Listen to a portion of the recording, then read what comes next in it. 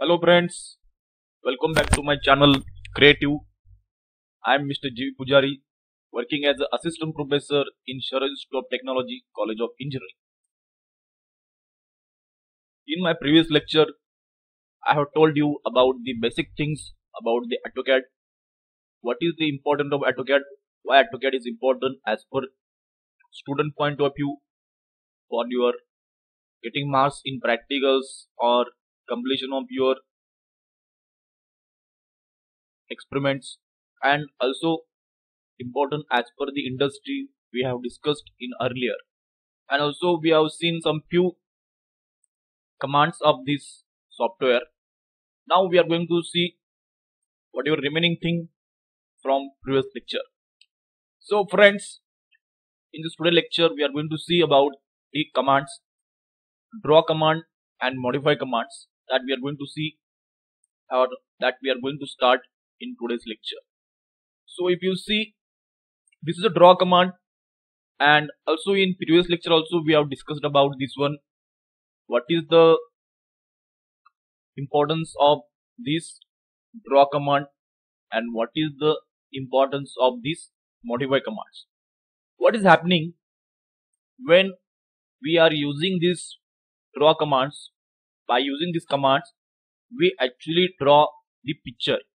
Whatever pictures you wanted to draw that we are going to draw with the help of these draw commands. And whenever you want to modify these commands we are going to see these commands are modify commands and that commands we are going to use and modify that drawing. Okay. So for draw command and for modify commands using we are having on below side this is a command line and below this command line these are the commands. Those are very useful for and they will help you to suitably draw your model. So mostly those are important.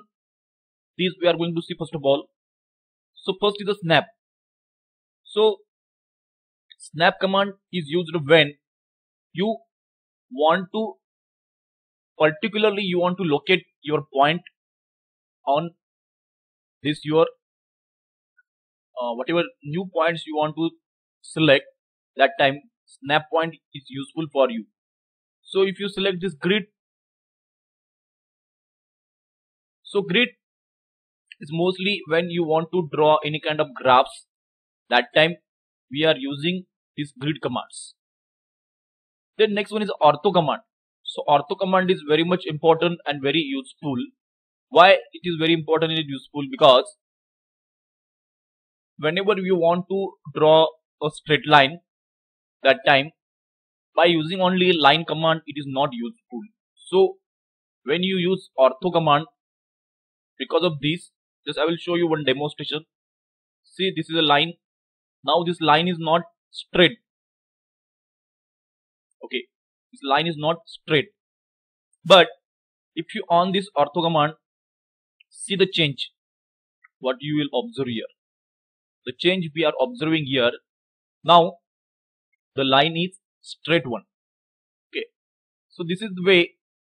So if you want to enter i just i will enter here 50 and you will get here 50 straight line. Okay. So if you want to you want to exit from command right click enter is one option or another option. Just press the escape. When you press the escape key again you will goes out of this command. Okay.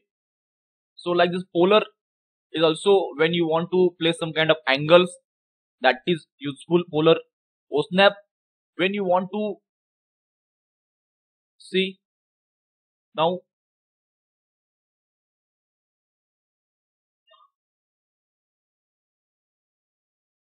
we want to set some kind of these endpoints or middle points because now the OSNAP is on. See the change? Now OSNAP is off.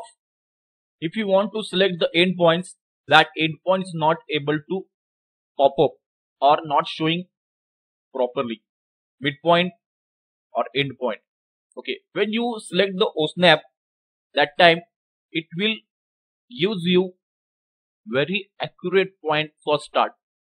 So just I will select this OSNAP. Now see, it shows you orange color. Okay, so it is very easy to pick that end point. Okay, so just we are going to pick this point easily. See here also, and whatever the mid that is also showing properly. Okay, so this is a cross line shows means it is a at on line. So because of this OSNAP option, it is very easy to locate these endpoints. Okay. So whatever the DUCS dynamic input. So dynamic input, uh, whatever those are not very much uh, useful or not using commonly. The dynamic input is very much important one thing. So now whatever you are observing with this cursor, uh, with this cursor if you see, there is a whatever the length whatever we are moving like specific first point showing on a screen. Like right now it is a 46.71 and 21.14 it means it is x and y coordinate. Okay dynamic input is nothing but it will shows you movement of x and y coordinate. Means this if you go nearby this this is your x and this is the y axis okay. From this axis on which area you are going to draw your object? At how much x distance and how much y distance? That will shows you when your dynamic input is on okay. So it is also you require to see because dynamic input is one more point. Very much suppose i will suppose of this dynamic input what will happen? See we will not able to see at what much at what x uh, distance from x axis and y axis we are plotting this point. It's not able to see here. So it is very difficult now to understand. Okay. So that's why dynamic input is very much important thing. One always required to keep on. So here snap ortho osnap and dynamic input. These are the three to four points are very much important you require to keep in your mind while you are drawing. Okay so always keep in your mind. Now just uh, i'm going to cancel this one. And if you want to delete this one one more way just click and select the delete option. Delete key. Okay just select the option or select the entity select the drawing and then press the delete option. Then easily whatever you have drawn that will delete. Okay friends now we are going to come to the point. Now we are going to see these our commands. See first is our line command. So how we are going to see? See normally if you want to enter just I will click here. And now the ortho command is off. That's why whatever the line I am showing only on the basis of judgment of my hand portion or hand movement the line will be straight or line will not be straight. You can be also observe the angle here showing the angles on here the length and angle with this line. Okay. So so it is required to be managed or uh, it required to be adjusted by your own. Instead of this suppose i wanted to draw a straight line. Instead of adjusting all these things i will just on the ortho command. Okay when you on the ortho command automatically the line will start come as a straight line. Okay now see. So it's a very straight line and does not require me to do any kind of things here okay easily i am have done everything okay to draw this line next one I will show one more thing. Suppose whatever the line we have drawn this these lines, these lines are very without dimension. Suppose you if you want to move whatever you have drawn and you want some empty space, just whatever your scroll button, press your scroll button and move. So pan key will activate. Okay pan command will activate here. Okay so just press the scroll button and you can move anywhere. Okay so like this. I want this empty space here to work. Now whatever the lines we have drawn these lines are without dimension now i want to draw a line with dimension. I will select here one more time. Now see the line is straight one. Now i want to enter with dimension. I will enter suppose 50 enter. So i only want i only want this 50 mm diameter length. So if you want to stop here how you can stop here? Just right click and press the enter. Okay. When you press right click and enter then you will exit from your current command. Okay. If you want doesn't want to take every time from this list okay so whatever the commands we have used that you will find on just right click of your mouse button and you will get here the previous command those you are using here is recently used command you will find here. On your right side click or whatever the previously commands we have used that if you want to check just go to recent input. If you go to recent input so these are the commands i have used recently i have used line command. I have used erase command. I have used the command line. Okay. So like this. So i want again the line command. Just i have selected again the line command.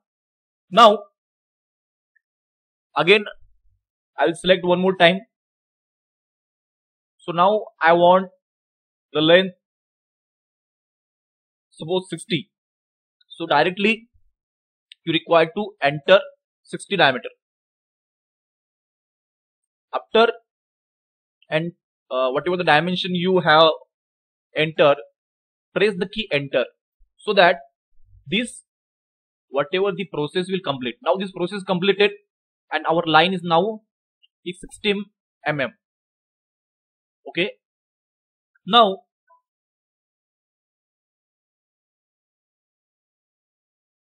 I want same kind of line as below level. Okay I'm not going to exit my command. Without this what I am going to do I am going to do one more thing.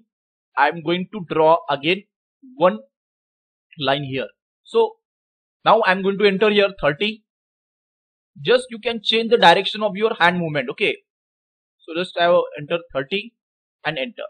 See?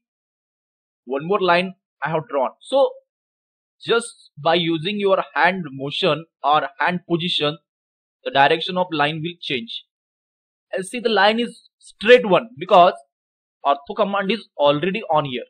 If ortho command you get off then you will not get the straight line.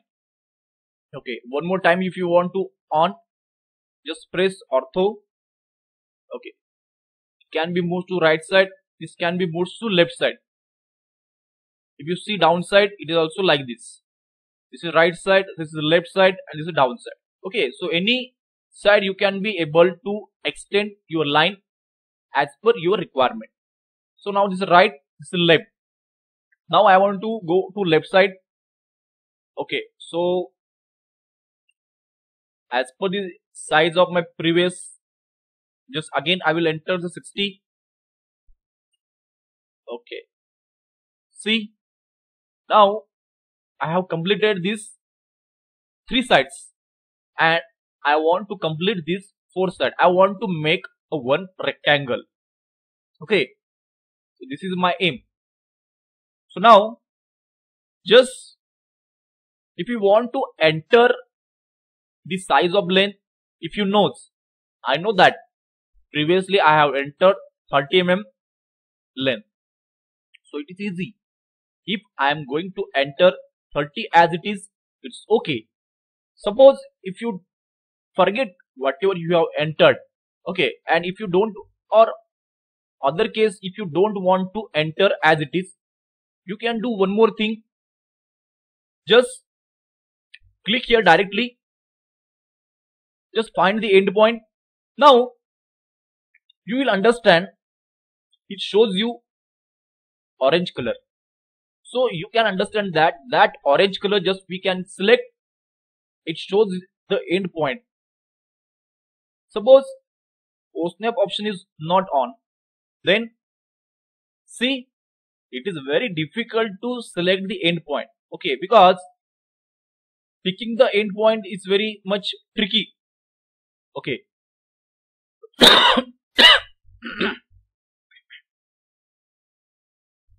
picking the endpoint is a tricky option.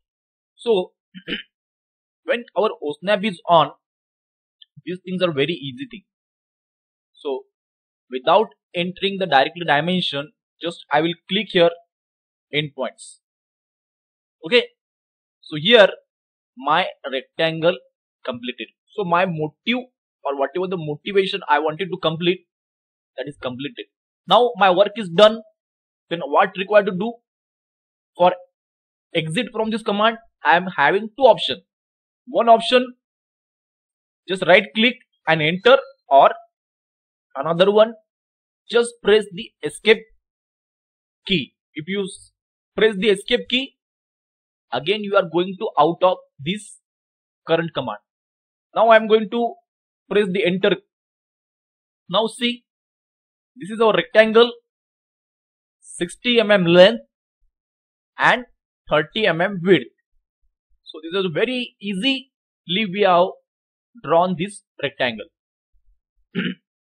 Now one more thing we are going to see here.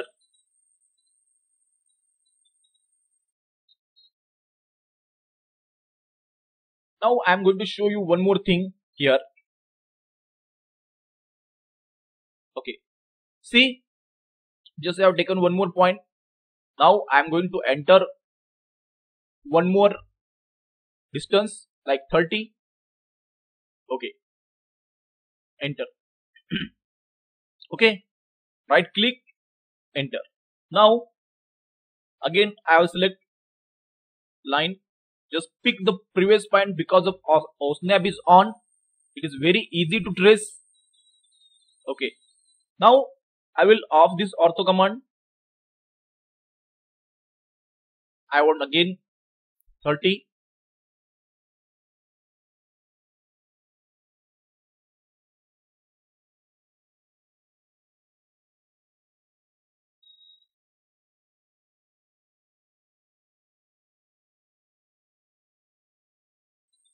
30 okay. I will enter the angle 45 and press enter. Now what we have done I have drawn angular line. Okay just using the same procedure what I have done I have drawn at below level.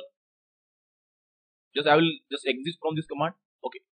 So I have drawn here 30 mm length line. And then just I have selected this previous point and then I have entered the length of line 30 and then press the tab. When you press the tab option you are going in a next level next box. In the first box we have entered the actual dimension which length you want. And in the next box I have entered the angle the which angle I wanted to create. Okay. I will show you one more time. See?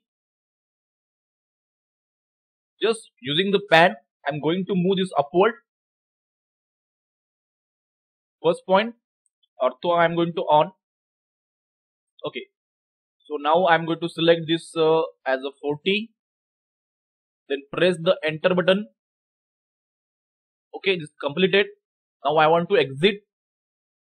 Again one more time if you press the enter the command will exit. Now see here. I have selected one more time line. Just select this previous line point.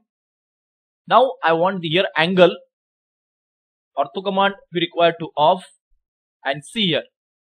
It shows you first of all length.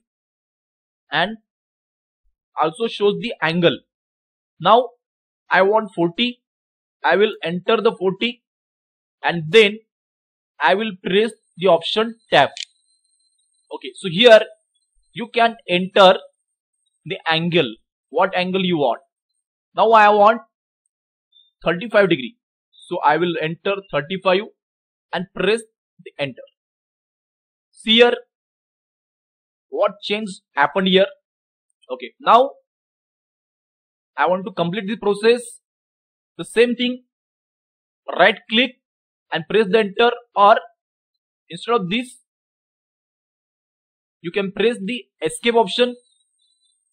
If you press the escape option also it is easy to exit the command. So just i will right click and enter. So now this is my line with angle 35 degree. With this i have drawn this angular line. So by using the line command you can be able to do such kind of things. You can be able to draw a line as it is. You can draw the line with dimension.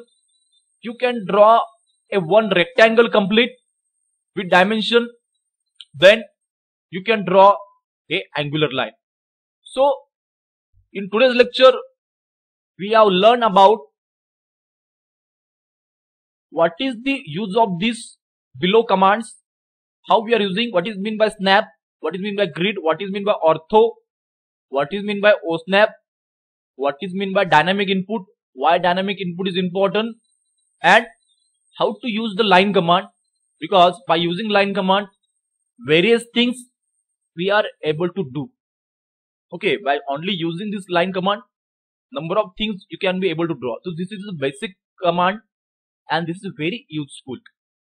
So friends just below whatever this snap ortho and dynamic input or snap these are the four points four to five points. These are very much important. Always keep in mind while drawing. Okay so now i'm going to stop my lecture today here and i hope you have understand whatever we have learned today and whatever are the remaining commands that we are going to see in our next lecture. So once again, thank you. Thank you very much for listening carefully this lecture. Thank you. Thank you very much.